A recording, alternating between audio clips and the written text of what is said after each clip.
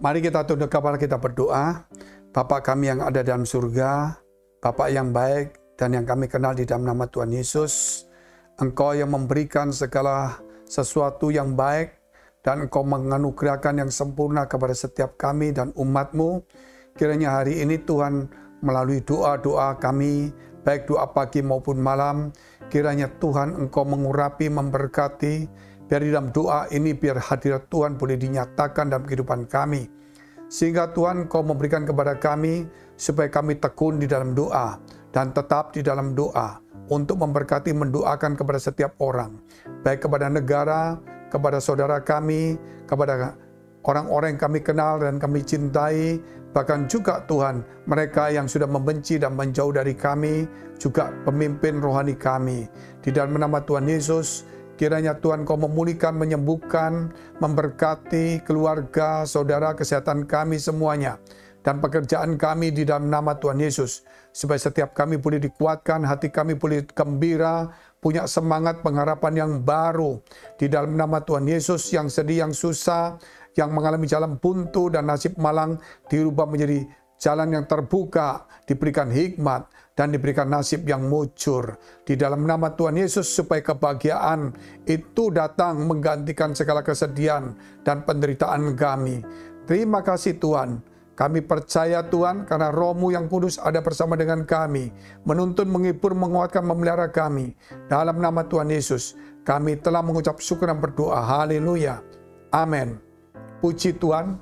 Shalom saudara yang kasih Tuhan, kita akan belajar firman Tuhan dalam kitab 2 Tawari pasal 7, ayat ke-12 sampai dengan ayat yang ke-15. Saya bacakan.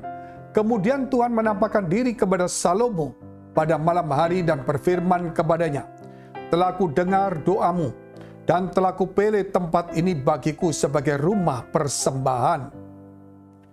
Bila mana aku menutup langit sehingga tidak ada hujan, dan bila mana aku menyuruh belalang memakan habis hasil bumi, dan bila mana aku melepaskan penyakit sampar di antara umatku,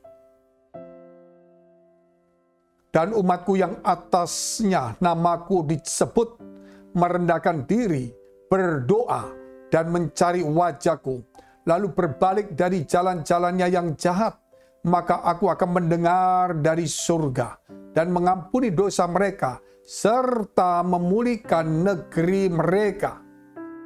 Sekarang mataku terbuka dan telingaku menaruh perhatian kepada doa dari tempat ini. Kata tempat ini boleh diganti dengan tempat hati kita masing-masing. Kalau kita melihat kisah ini, pemulihan terjadi. Jikalau ada penyakit sampar, jikalau keadaan negeri itu buruk, ada semua makanan atau semua kehidupan itu berkurang karena bencana. Tetapi Tuhan akan mendengarkan dan memulihkan negeri itu. Sebagaimana yang terjadi sekarang dalam kondisi yang ada di Indonesia, di luar negeri bahkan di seluruh dunia. Negeri-negeri mulai mengalami kesulitan, bencana, penyakit sampar, dan juga bencana-bencana lain muncul. Ekonomi jatuh bangun semuanya.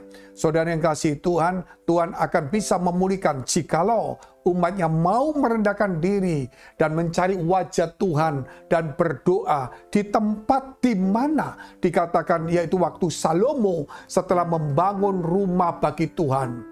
Ketika Salomo setelah membangun rumah bagi Tuhan, di situlah Tuhan berkata, tempat ini menjadi tempat kediamanku. Dari tempat ini aku akan mendengarkan segala doa-doa daripada umatku dan akan memulihkan negerinya dan memulihkan kita semuanya. Saudara, kalau kita mau membangun rumah Tuhan, baik itu di gereja, di kelompok kita, di jemaat kita, kita tidak menggosipkan, kita tidak menjelekan, kita bukan berpangku kita bukan malah, bukan pasif, bukan kritik, tapi kita memberikan diri kita sebagai salah satu batu bata bangunan dari rumah itu. Jadi kita seperti satu batu bata untuk disusun menjadi tembok, menjadi bangunan rumah Tuhan. Maka saya percaya hidup kita ini adalah tempat rumah Tuhan juga. Namun jikalau saudara kita di rumah Tuhan kita berdoa, namun kita tidak mau menjadi salah satu bagian yaitu batu bata untuk dibangun menjadi tembok rumah Tuhan.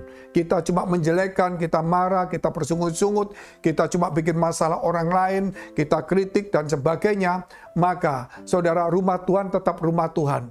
Tapi hidup kita bukan lagi menjadi rumah Tuhan.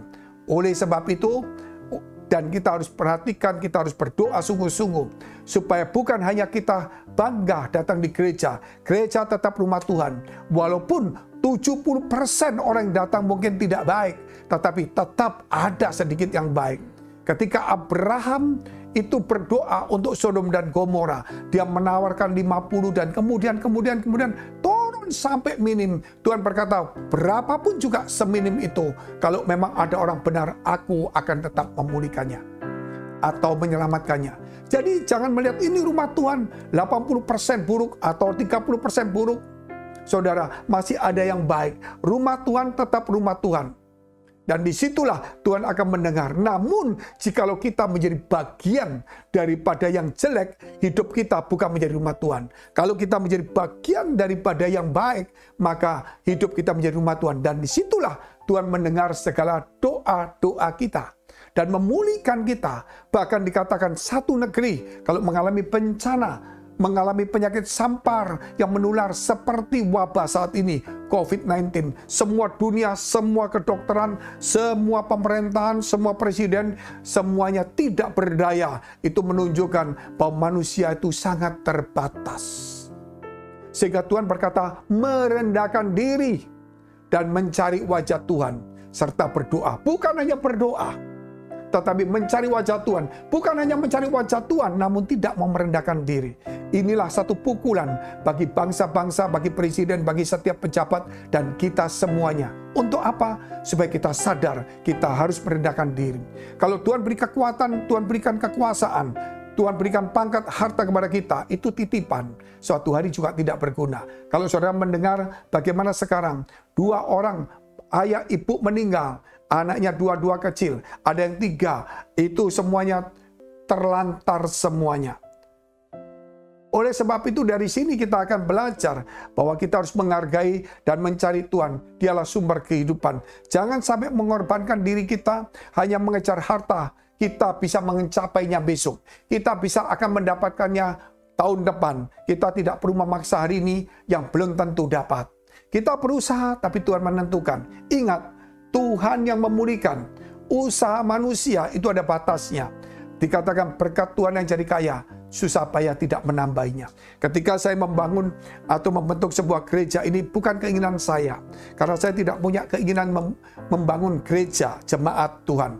Tetapi mertua saya adalah seorang pendeta gereja di Surabaya sejak tahun lama sekali.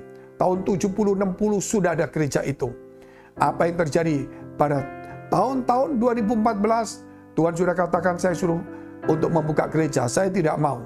Tetapi kemudian waktu saya ada di kota Melbourne di Australia, ketika malam hari itu mendengar suara di ketika berdoa, diberi nama blessing in the spirit. Apa yang terjadi? Saya tidak tahu. Apa saya pikir itu adalah tema khotbah. Namun besok setelah saya pikirkan, saya nggak dapat tema khotbah itu.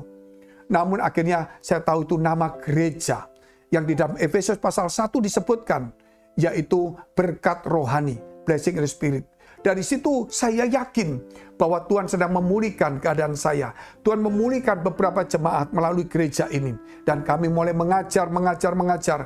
Dari kesulitan demi kesulitan. Saudara tantangan demi tantangan. Tapi ingat, kita tidak sendiri ada Tuhan. Dikatakan bahwa Tuhan turut campur. Tuhan turut campur. Dia tidak pernah meninggalkan kita. Saudara dikasih Tuhan, jikalau kita punya masalah, ayo kita membangun rumah Tuhan. Membangun jemaat bukan meruntuhkannya. Dan di situlah Tuhan akan mendengar doa kita. Mari kita tunduk kepala, kita mau berdoa. Terima kasih Tuhan, terima kasih. Memberkati setiap kami yang telah mendengar, merenungkan, dan menerima firman Tuhan ini. Supaya setiap kami menjadi bagian yang baik di rumah Tuhan bukan menjadi yang buruk supaya hidup kami juga menjadi rumah Tuhan. Di mana segala doa-doa kami yang kami ucapkan melalui tempat hati kami bahkan di rumah Tuhan, Engkau mendengarkannya dan Engkau akan memulihkan kami, negeri kami, bahkan keluarga kami. Terima kasih Tuhan, satu negeri pun yang sulit, yang hancur, Engkau sanggup memulihkannya. Janjimu ya dan amin. Oleh karena itu Tuhan, biar kami mengerti bahwa kami perlu membangun rumah Tuhan, membangun jemaat, bukan meruntuhkan, membangun hidup kami, membangun iman kami, bukan membuat kami menjadi bingung dan merusak. Di dalam nama Yesus, kami berdoa Tuhan, supaya doa-doa setiap saudara kami diberkati, diurapi, diberikan kepada Tuhan, dari Tuhan satu kuasa, supaya doa itu boleh menjadi satu kenyataan Mari saudara dekapkan kedua tanganmu di dadamu ketika engkau mengalami kesulitan. Tidak punya harapan, putus asa. Ketika engkau inginkan sesuatu kepada Tuhan.